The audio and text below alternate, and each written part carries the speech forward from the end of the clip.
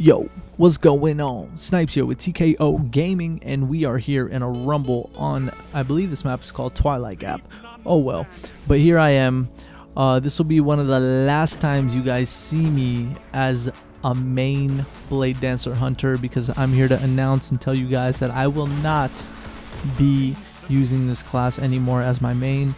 I'm taking my talents over to the Arc Warlock. You will see me in this Saturday's tournament on an Arc Warlock and you guys will see me most likely in future tournaments on an Arc Warlock or a subclass other than your very well known TKO Snipes Blade Dancer.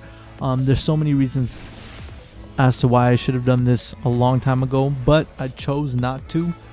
A lot of you guys that also main Blade Dancers know why one would want to switch to a different subclass. Man, oh man, this class is straight love. I love this class a lot. I mean, I've used this class for so long. Um, TKO Gaming almost has 2,000 Trials of Osiris carries, and for majority of them, I use this exact setup, this exact build. You know, my Blade Dancer build.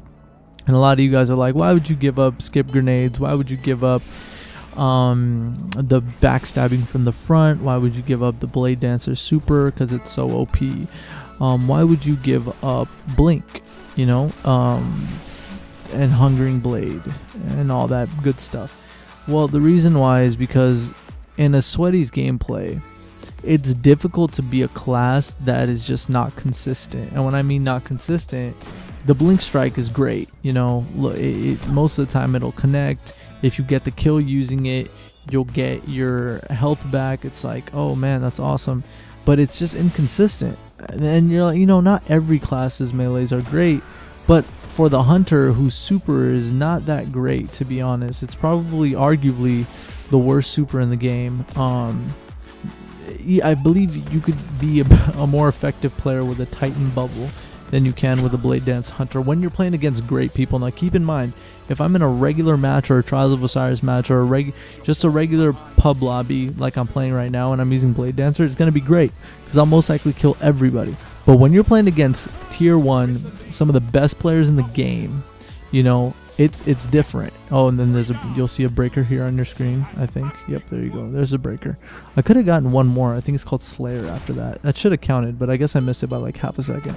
And then I just freaked out because I was like, why didn't I get it? And then I died. Need in the face. But anyways, so I'm gonna tell you guys why. Maybe I can convince other blade dancers, and maybe you guys in the comments below can talk as to what you think the best subclass is, or you know why you know because right now i'm going to be comparing the blade dancer hunter to the arc warlock the storm the Stormcaller i think that's what it's called. Um, and i'll tell you why. So there's a lot of things on the arc warlock that are really really good. And i'll give you guys once i have it all set up because i'm working on the ammo or not ammo i'm working on the armor right now on it. So and i'll tell you guys exactly what my build's going to be how i'm going to use it for those of you who also main arc warlocks um, but overall, it's just such a great, great super. For for example, the Arc Warlock Stormcaller super with Ionic Blink, it's so so powerful. You can bait a lot of supers at the same time, wipe out full teams, and with Ionic Blink is so much better than the blink you see a Blade Dancer or a Void Warlock using. So that's first first things first. It's just a better super than my Arc Hunter, uh, my Blade Dancer Hunter, my Blade Dancing Super. It's just point blank a better super. Um, oh, I'm definitely gonna miss quick draw. By the way, man, you guys are seeing some quick draw gameplay on the screen. I forgot to even mention that. Um, the second thing is the melee with amplitude. It's a perk on the Arc Warlock. It gives you extended range on your charged melee, on your uh, Thunder Strike or something. I don't even know what it's called. Dude, that thing is OP. It's insane. It's insane, you guys. I'm it's crazy to me how how the range in that is just the craziest thing I've ever seen. And I know a lot of you guys are familiar with that. Then there's a perk on the Warlock called Pulse Wave, where once you become critical damage, meaning once you lose your shield, every you and everyone on your team, um, it triggers uh, fast uh, movement and weapon handling, which can for like 10 seconds, which is like pretty OP.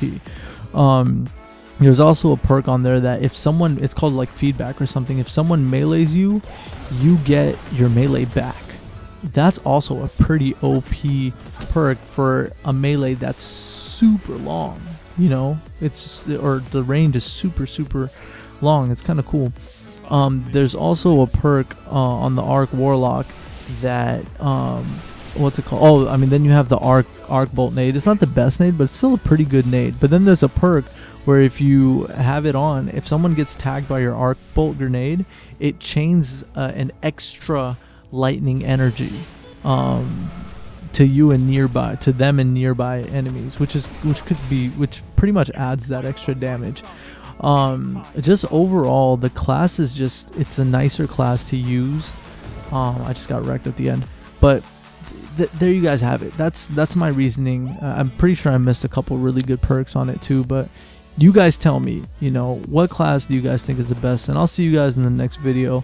Sad that i'm leaving the hunter go but oh well it is what it is. All right boys thank you guys so much for watching this video. Make sure to like the video uh, comment below for more talking and make sure to subscribe if you haven't for more videos. I have some awesome videos coming up for you guys so peace out and i'll see you in the stream. Stay blessed